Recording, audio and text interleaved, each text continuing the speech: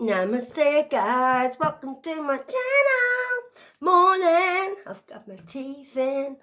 I'm off to the uh, vet with Karma to check on his little balls. So if you haven't seen me before, morning, I'm Kerry. I'm a psychic intuitive reader. I normally do my own angel cards, but today, well this morning, before I go out, I'm just going to quickly do you some angel oracle cards. Time to go, law of attraction. Oh, time to go and law of attraction. So, hope you're right. Hope you have a good day. I just thought I'd pop on quick and get this out. And then when I get back, I'll do you some more. And I'll do you some proper um, angel cards. Right, let's see what we've got for you today. Angels and ancestors. Give us some cards for the collective. And see what we have for a message from you. all to them today. What we got? Be honest with yourself. I like that. Oh, be honest with yourself. Can you see that? The light's not great. Oh, I love that. Right, so let's see. Look into your heart and you will know the truth of this situation. It's safe to admit the truth to yourself, for we will support and guide you through any necessary changes.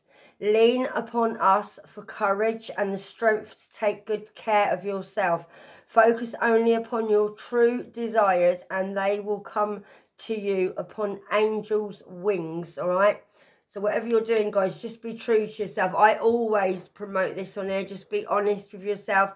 Always tell the truth as well. No one likes a liar. So just be honest. So you probably got a situation coming up where you just got to be honest with yourself. She looks like Mary, Mother of God. It's lovely. Right, that is your first card, guys. It is Monday, so all prayers and blessings to you for the rest of the week from me. And I have prayed on some of your messages, people that asked me, what do you desire? Right, notice the signs is on the split. You got to release something. You got to be honest with yourself to release something here release and surrender. I think you have released the past and now you're surrendering, surrendering to God. That's what I feel. Notice the signs. Yes, the signs you've been receiving are heaven sent, guys. We drop feathers, coins and other signs upon your path to remind you that you're loved and never alone. So if you see any coins or feathers on your journey, that's your angels, okay? So you can pick them up and pop them in your pocket. If you make an altar at home, you can put them on your altar. Surrender and release. We shower you with blessings of our radiant love. Open your arms and